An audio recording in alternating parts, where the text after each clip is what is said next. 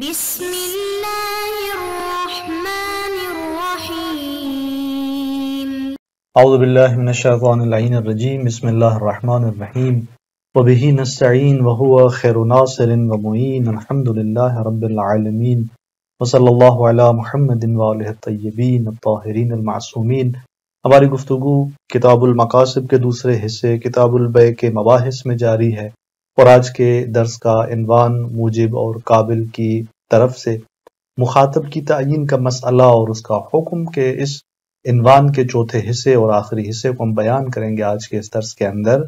बहस हमारी इसके अंदर जारी थी कि मुजिब और काबिल के लिए ज़रूरी है कि मुखातब को तयन करें।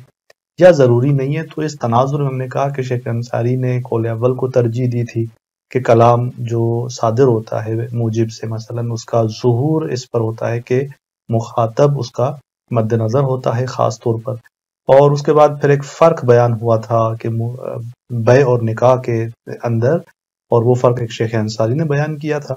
उसके बाद एक कायल के नाम से, के कद युकाल के उनवान से आगा ने कहा कि कोई कायल आके ये फ़र्क बयान करता है कि बे और निकाह के अंदर और उस फ़र्क के तनाजुर में फिर जो है आगा ने कहा कि वो आकर कहते हैं कि बे के अंदर तयन ज़रूरी नहीं है कि मुझे मुश्तरी को मुन करे। ख़ास तौर पर या उसका मकसूद हो एक ख़ास मुश्तरी लेकिन निकाह के अंदर ज़रूरी होता है। लेकिन शेख अंसारी रहमत ने इन दोनों इस फ़र्क की दोनों जहतों को बयान किया उस कायल के नुक़ निगाह से और फिर उन्हीं दोनों जहतों पे इश्कालात किए। आज के इस दर्स के अंदर जो अहम मतालब हैं, उसी गुज्त बहस के तनाजुर में, तसलसल में, एक मतलब शेख अंसारी के निगाह में बे और निकाह के वकूद में बेहतरीन फ़र्क गर्चे वो फ़र्क बयान हुआ था, दोबारा उसी फ़र्क की तरफ़ शेख अंसारी पलटते हैं। जब उस कायल के बयान करदा उस फ़र्क को आगा नकद किया तो अब पलटेंगे उसी फ़र्क की जानब जो आगा ने पहले बयान किया था। उसी फ़र्क को जो है वो अवला के तौर पे यहाँ पर दोबारा इशारा करते हैं, बयान करते हैं और फिर बाज़ नुकात को जो इसी तसलसल में बयान हो रहे हैं, उनको इशारा करते हैं। और इसी तरह शेख अंसारी के कलाम का दूसरे कायल के कलाम से जो फ़र्क है उसकी तरफ़ दकीक इशारा होगा कि मुमकिन है कि शेख अंसारी के कलाम से कोई ये समझे कि ये तो पलटता है। उसी कायल के बताए हुए कलाम की तरफ़ जो उसने एक बात की थी इस फ़र्क के तनाजुर में, उसी की तरफ़ पलटती है। तो आप फरमाते हैं कि नहीं, ऐसा बिल्कुल जो है नहीं है कि इन दोनों कलाम में कोई फ़र्क ना हो। तो इन दो नुकतों को आज के इस दर्स के अंदर हम बयान करते हैं, चलते हैं अपने पहले मतलब की तरफ़ के जिसमें आगा शेख अंसारी रहमत इस तरह अपने नुक़ नगाह से फ़र्क को बयान करते हैं कि फ़ल अवला फ़िल फ़र्क मादा करना फ़र्क में जो अवला सबसे बेहतर मतलब है, वही है जो हमने बयान किया था।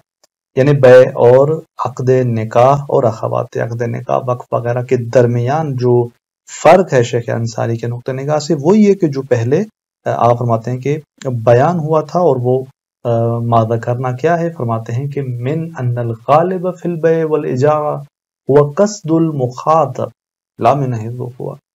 फरमाते हैं कि गालिब अक्सर जो बे और इजारे के अंदर है, वो मुखातब का कस्त करना होता है, लेकिन लामिन है सो हुआ। न एतबार से कि वो मुखातब एक ख़ास मुन शख्स है।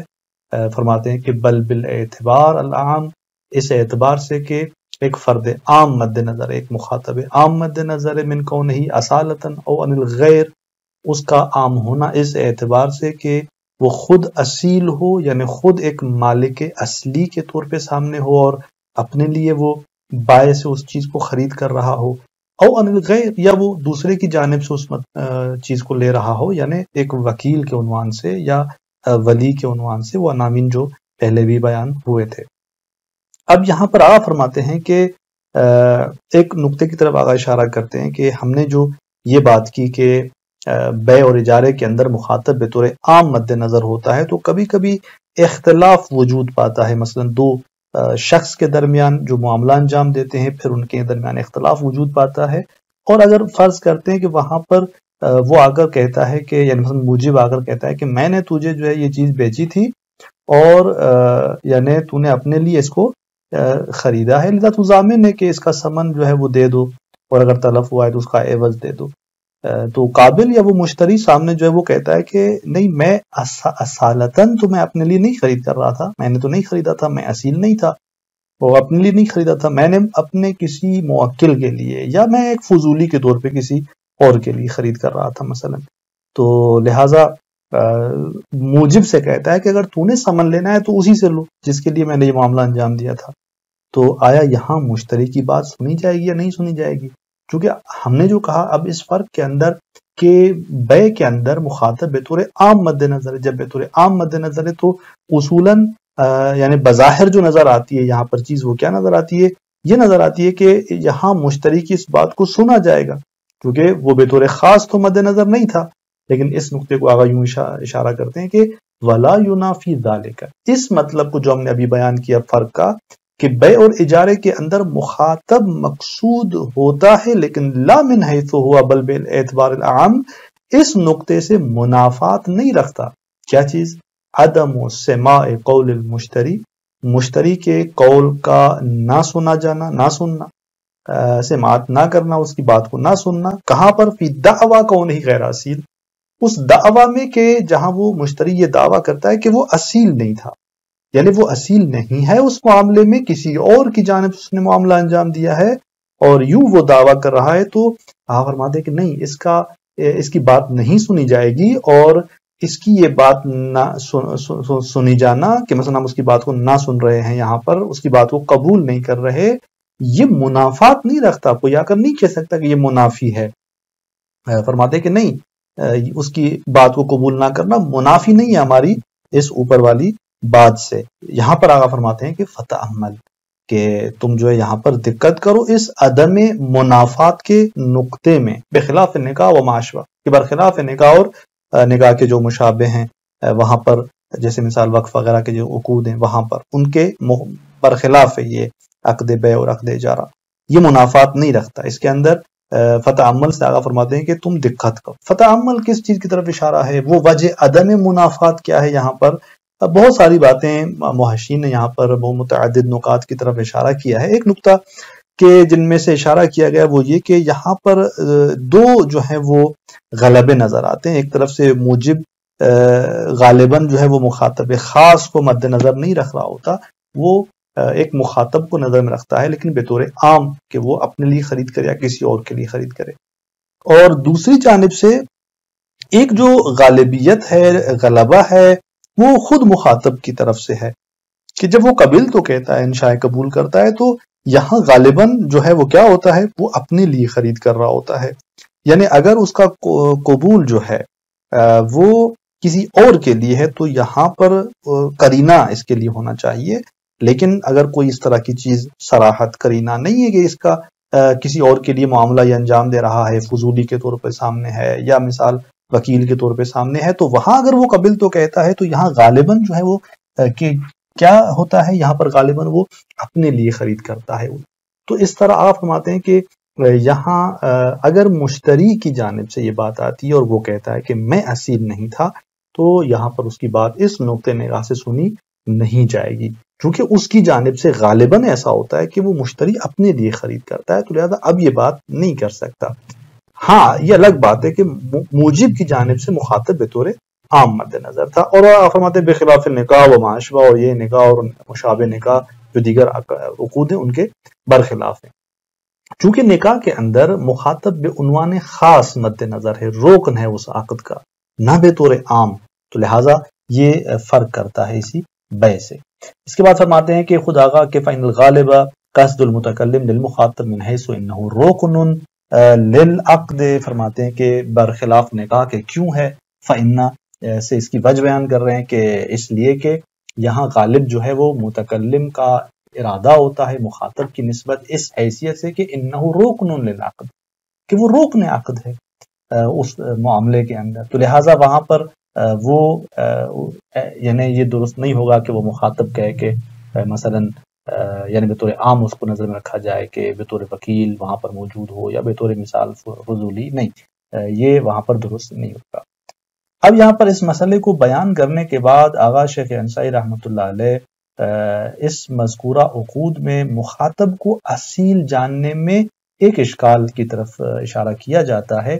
कि उसको आगा बयान करते हैं कि जहाँ पर अकद अकद निकाह हो, जहाँ पर अकद मुशाबे अकद निकाह जैसे वक्फ वगैरह हो तो यहाँ पर वो जो मुखातब है, चूँकि हमने कहा कि वही मुतन होता है, मकसूद होता है कि जो सामने है, और यहाँ पर उस मुखातब को अगर असील जाना जाए, यानी वो मुखातब को असील जाना जाए और उसे मुखातब जाना जाए, और मसन किसी किसी कराइन की वजह से उस मुखातब को जो असील शख्स है जिसके लिए अक्द जारी किया जा रहा है, उस असील के कायम मकाम जानते हुए खुद वही मुराद लिया जाए।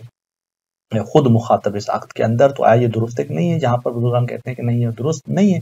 इसकी तरफ़ इशारा करते हैं कि बल रुबामा युस्तशकल, के बल्कि कभी इश्काल किया जाता है, फ़ी सेहत अन युराद मुखातब मिन ऐसो कयाम ही मकाम नसीब। फरमाते हैं कि इस मतलब की सेहत में इश्काल किया जाता है कि इरादा किया जाए करीने से मुखातब का, यानी खुद, चूँकि करीना मौजूद होता है, अगर वहाँ पर तो उस करीने को नज़र रखते हुए खुद उस मुखातब को मद्देनजर रखा जाए, इस हैसियत से कि वो कायम मकाम असील है। यानी उस मुखातब को असील जो शख्स है जिसके लिए ये मामला किया जा रहा है, जिसके लिए ये जारी किया जा रहा है, फरमाते हैं कि उस शख्स के कायम मकाम इस मुखातब को जानते हुए खुद इस मुखातब का इरादा किया जाए वहाँ पर और यानी अक्त जो है वो मुस्तकीम उसकी नस्बत से जारी किया जाए तो फरमाते हैं कि ये दुरुस्त नहीं है। इसकी एक मिसाल आगा शेख अंसारी यहाँ इस तरह फरमाते हैं कि कमा लोकाल जैसा कि अगर वो आ, कहे आकिद जो है यहाँ पर मसन वो खातून है वो कह रही है कि जवज तो का और यानी मैं तुझे जो है वो एक जौज के उनवान से कबूल करती हूँ शोहर के उनवान से कबूल करती हूँ मुरीदन लहू बेतबार कौन ही वकीलन यानी का इससे मुराद वही मुखातब जो सामने है उसी की तरफ़ इशारा है और उसी ही को, को मुखातब किया जा रहा है लेकिन फरमाते हैं कि इस एतबार से कि ये वकील जोज का यानी उसे असल जोज जो असील शख्स है जिसके लिए अकद है उसको उसकी जगह पे इसको कायम मकाम जानते हुए खुद यही मुखातब जो है इसको इरादा किया जाए जवज धोखा के इस सीगे के अंदर फरमाते हैं कि नहीं ये दुरुस्त नहीं है। वकवा कौल हो या मसन अकद निका के अलावा अकद वक्फ के अंदर आप देखें कि वकफ तो अलैक, व उसी तो लक, व वकल तो का के इस तरह के सीगे जो हैं अकद वक्फ में, अकद वसीयत में और अकद वकालत में जारी किए जाएँ और वहाँ पर उसी मुखातब जो शख्स है उसका इरादा किया जाए इस उनवान से कि वो कायम मकाम असील के फरमाते हैं कि कज़ा, यानी क्या? यानी यहाँ पर भी इसकी सेहत में इश्काल है। अब शेख अंसारी रहमत इसको वाजे करते हैं कि वजह इश्काल क्या है, यानी क्यों इसको दुरुस्त नहीं जाना जा रहा इन उकूद के अंदर, अकद निकाह के अंदर, अकद वक्फ के अंदर, वसीयत और वकालत के अंदर जो मद्द मुकाबल शख्स बैठा हुआ है, अगर वो किसी और की जानब से वकील है तो यहाँ इस अकद और इन सीगों के जारी करने के वक्त खुद इसे मुखातब जो है, जो बैठा हुआ है, इसको इरादा नहीं किया जा सकता। यहाँ पर फरमाते हैं कि यही वजह है कि हम देखते हैं कि जब आप जवज तो का सीगा जारी होते हुए देखते हैं और मध्य मुकाबल शख्स जो आकिद है कबूल जारी कर रहा है किसी और की वकालत में तो यहाँ पर जवजतों का, यानी उसको मुखातब नहीं किया जाता, बल्कि उसके मुवक्किल को मुखातब किया जाता है उसकी तरफ़ मुवक्किल की तरफ़ इशारा किया जाता है। तो मुखातब, यानी मुराद वही होता है जो असले जौज होता है उस आगत के अंदर। जवजतों का मुस्तकीम मुखातब जो बैठा हुआ है वकील, उसको खिताब नहीं किया जा सकता और ये सही नहीं है। वज बयान करते हैं आगा कि वज अदम तारुफ सिद के हाजिल इनवानात वकील फ़िहा।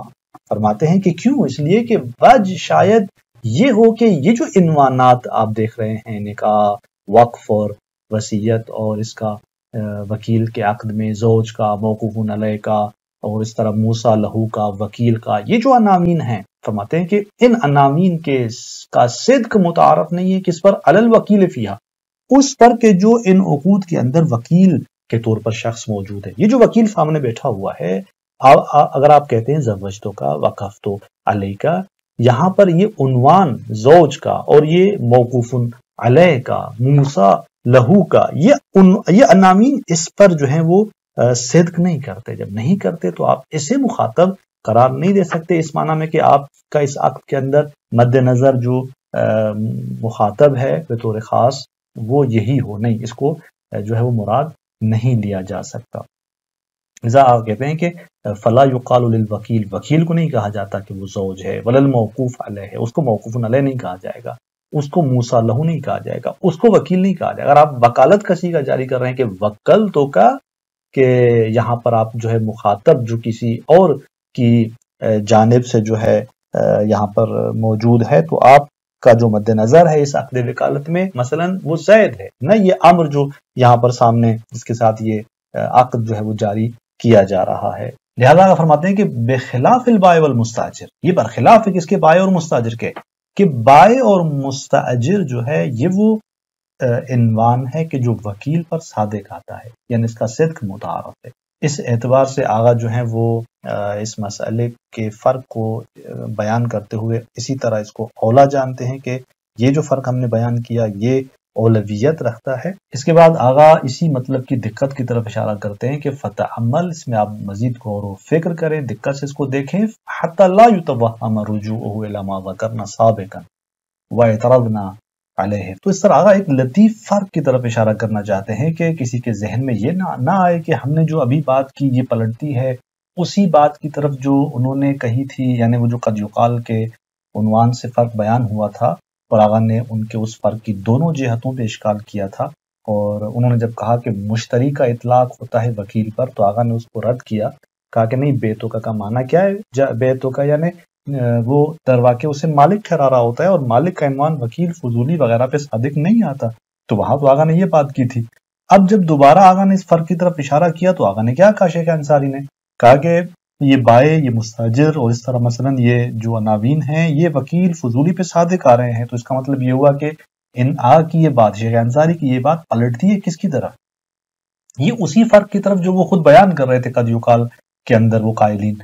तो इसी नुक्ते की तरफ़ आगा मुतवजह में कर रहे हैं कि देखें, फतह, दिक्कत करें, हतल्ला रुजू करना ताकि तवहम ना हो कि ये मतलब जो अभी आगा ने फ़र्क का बयान किया, ये पलट रहा है किसकी तरफ़? इलामा करना, उसी बात की तरफ़ जिसको हमने सबकन बयान किया कद युकाल के ज़रिए और फिर उस पर वातरना हमने एतराज़ भी किया था उनके उस बयान करदा फ़र्क पे। तो आ कहते हैं कि वहाँ दुरुस्त है, हमने कहा कि मालिक का इतलाक नहीं होता फजूली वकील पर। अभी जो हम कह रहे हैं कि बाय और मुस्ताजर और ये अनामीन मुतारफ इनका सिद्क वकील पर और इस तरह हम फ़र्क बयान कर रहे हैं निकाह और बय के दरमियान आप फरमाते हैं कि हमारी हम उसी बात पर अभी भी कायम है। यानी दरवा के वहाँ अगर मालिक सादिक नहीं आ रहा था, हमने बात की थी वकील पर तो बेमाना हकीकता यानी हकीकी माना में ये मालिक का इनवान सादिक नहीं आ रहा इस वकील पर। बेतौर मजाज मालिक का इनवान सादिक आ रहा है। तो ये बेतौर मजाज उस पर सादिक आना ही हमारे उस मतलब जो है को खराब नहीं कर रहा जब हमने कहा कि मालिक का इनवान वकील पे सादिक नहीं आता तो हमारी मुराद वहाँ पर क्या थी? हकीकतन सिद्ध नहीं करता वकील पर। और अब जो हम कह रहे हैं कि बाय मुस्ताजर और इजिया नामीन सादिक आते हैं तो इसका मतलब क्या है? इसका मतलब यह है कि यानी यहाँ पर बय के अंदर जो मुखातब बेतौर आम मद्देनजर है तो यहाँ पर मजाजन इन अनावीन का इतलाक जो है, वो इस वकील पर मुश्किल नहीं रखता। हम हकीकता उसके इतलाक को रद्द कर रहे थे। तो वही फ़र्क, वही हमारी बात अपनी जगह पर कायम है, बाकी है। हम जो फ़र्क बयान कर रहे हैं, ये फ़र्क मुख्तलिफ़ है। उस फ़र्क से कि जो कदयुकाल के अंदर उन्होंने बयान किया था। लिहाजा फरमाते हैं कि फ़तः अमल और फिर हतलाम के ज़रिए इसकी तरफ़ हमें मुतजर फरमाते हैं। असल वरहमल वर्का